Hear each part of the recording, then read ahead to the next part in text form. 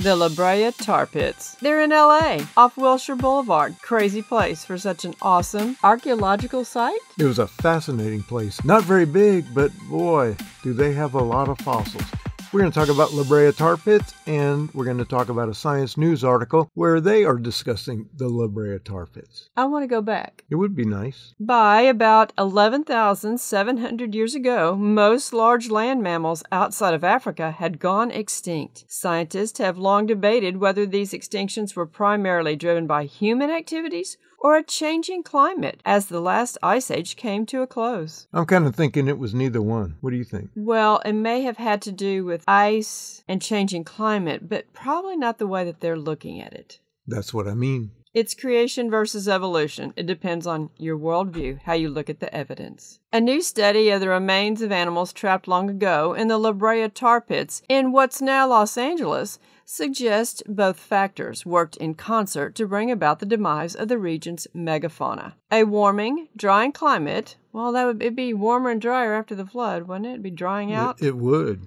We need to do some drying out around here. It's been raining so much. A warming, drying climate, plus humans hunting and burning of the landscape, led to fires that precipitated die offs there around 13,000 years ago and forever changed the ecosystem, researchers report. And how do they know that? The evidence. Oh, I thought maybe somebody left a note. No one left a note about the time frame but God did. He left a note about the time frame. Absolutely, and it was not 13,000 years ago. No, because there wasn't 13,000 years ago, and this is what we point out many, many times in our videos that the evidence is the evidence. And a lot of times, evolutionists will come up with a scenario, and it sounds much like what happened at the flood. It's just when they throw in their time scale to be in sync with what their evolutionary mindset is and scenario, they have to add a couple of zeros often. Well, that's for sure. Out there at the La Brea tar pits, it is a relatively small area but they have found millions of fossils in there. Yeah, it's hard to believe it was I didn't know what I was going to be seeing. I didn't see what I expected. I'm not even sure what I was expecting, but I'm certainly glad we went. I'd heard about it for decades and decades and was excited to get there. And one of the features that they talked about in the fossils were these dire wolves. I wasn't familiar with those either, so that was a great thing to learn about. Well, they actually have uh, mounted over 400 skulls, but they have found 1,600 at the time we were there. That's an amazing amount when you think about it. I guess it was much like the uh, the old days TV shows when we were kids with quicksand in so many of them. Once you get in there, you can't get out.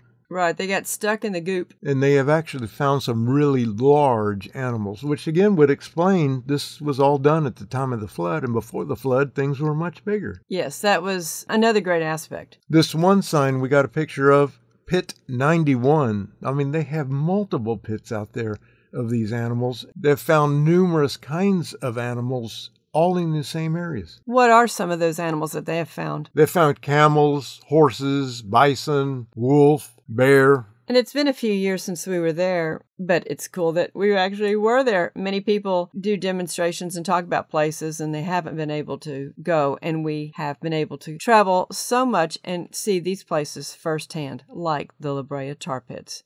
Have you subscribed yet? If not, please subscribe. But back to the fossil displays. They also have some mammoth. Mammoth and camel are not supposed to be together, according to evolution. It says here deep down, deep pit yields mammoth find. Pit 9 was far bigger than it now appears. Workers dug down 35 feet to find all its fossils.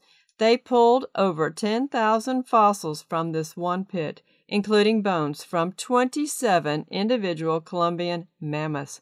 That's incredible. It's just, amazing. Yeah, it's just to fathom that. And I realize that if you have a lot of animals, the number of bones can add up fast, especially if they're talking about each individual little bone. But still, that is an incredible amount of work also on their part to clean and pull out and identify all those fossils. And, and they haven't got any, all of them yet. Well, no, they probably never will. No. The type of climate human synergy implicated in the demise of some of California's biggest ancient mammals may warn of dramatic upheaval in modern ecosystems that are subjected to human caused climate change, the scientists say. I know I was reading that and may not have heard it correctly, even though I was reading it. I would assume that they're saying that there weren't people during this time frame, or very many. Yet this happened, and this weather problem occurred, climate change occurred. But today, we're going to create the same thing. Well, that's They didn't have cars. no. The cause and effect is not the same. It can't be the same. No. They can't be blaming us for this to happen when whatever event caused that, which we know it was the flood, whatever they think it is, it doesn't have anything to do with humans. But look at the next sentence. Over the last century, Southern California has warmed more than 2 degrees Celsius on average. That's a far more rapid change than the area faced during the end of the last ice age. That is so ridiculous.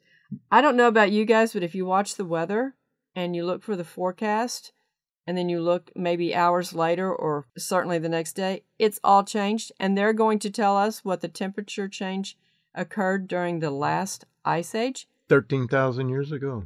I don't think so. Also, notice two degrees. Now, we tend to be warming as an Earth, and that's true, but it's not much. But even at that, two degrees of temperature change killed all these animals? That doesn't make any sense. We've got 35 degree temperature change between morning and afternoon here. Well, it just doesn't make sense, but it is part of their scenario. They are always pushing the climate change scenario and blaming people. What's more, the changing climate and human activities, that's what I just said. What's more, the changing climate and human activities transformed the region's woodlands into chaparral scrubland. Two degrees will do that. There were people chasing mammoths around. Didn't you see Ice Age? Manny and all that? Okay, Yeah. so there were humans. It's a vicious feedback loop. They were there to film it and document it. I don't think that if we could stop it then, we're probably going to stop that now. No. Hunting herbivores makes the ecosystem more fire prone as plants go uneaten. No, it's because of people won't clean out the forest lands or they won't stop wildfires when they can. You add more people and it gets hotter and drier, and you're killing more herbivores. So there's more fuel to burn. This lady in this picture, she's got a fun job. I know um, it's all evolutionary based, but it's still cool to go to these places and to see their hands-on work. Oh, yeah, to see the process is amazing. This place, they had all this stuff cataloged in drawers. It's a tremendous a lot of amount work. of work. And it is fun. I'm sure it could get a little tiring. The seven extinct megafauna species vanished from Southern California about 1,000 years before they did elsewhere in North America. Why would you want to leave SoCal?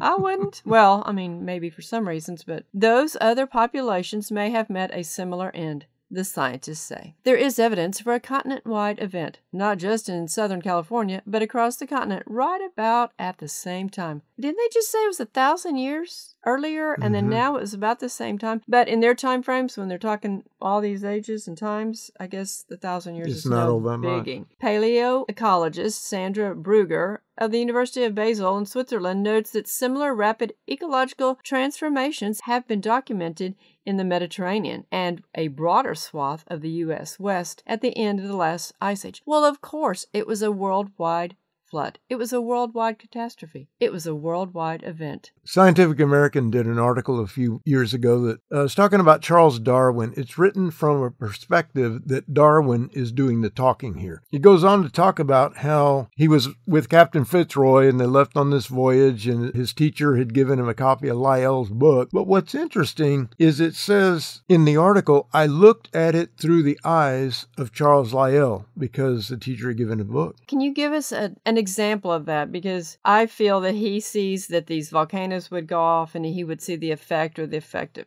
volcanoes, the effect of earthquakes, flooding, and then that would prove to him that it happened over a period of time, which we as Bible believers believe that it occurred on a massive scale across the entire earth at the time of Noah's flood. And yes, there are individual things that occur, and situations like Mount St. Helens, where the Toutle River Canyon was formed rapidly, but what it shows is that something can be on a smaller scale and on a larger scale, and I know that you wanted to give another example of how we can relate to that. right here in New Hampshire where we have a little cabin. The roads here are dirt roads. We had a lot of rain a few weeks ago. Massive carving took place and much of the roads are impassable. That does not mean that same two inches of rain 600 million years ago lasted for a million years and killed everything off. It makes no sense to say because we see something today, therefore extended massive amounts of the same thing happened in the past. It doesn't add up that way. Well, in this, it also says it was not by the hand of the divine or by some catechisms, but by slow, steady processes. That's the whole point right there. He wants to make it a slow process, but we are of the belief that it occurred rapidly on a grand scale, most of it. But again, like Mount St. Helens, things can happen on an individual basis. But I wanted to comment about look at it through the eyes of Charles Lyell. I had a friend of mine the other day. She was she lived out in Colorado and now lives in New England, and that's quite a difference. And she knows that I like the desert and she started listening to some of my videos and she said i hear you know how much you like the desert when i went back to colorado with my family earlier this summer i looked at it through your eyes and i enjoyed it so much better when i lived there i just thought it was hot and dry and the desert i didn't like it but this time